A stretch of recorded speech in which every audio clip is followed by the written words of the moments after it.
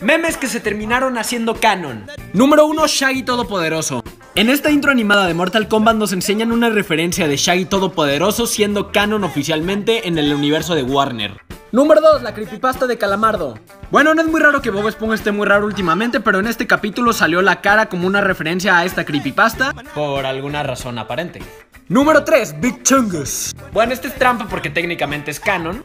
Pero parece que los productores de Space Jam 2 estuvieron enterados de este meme e hicieron una referencia directa en esta escena. Número 4, Sonic. Cuando por alguna razón estaban de moda los memes mal dibujados, llegó la película de Sonic y nos mostró esta divertida escena inmortalizándolo para siempre. Y finalmente mi favorito, el baile de Peter Parker. Este también ya era canon, pero seamos honestos, la única razón por la cual se hizo popular esa escena son por los memes.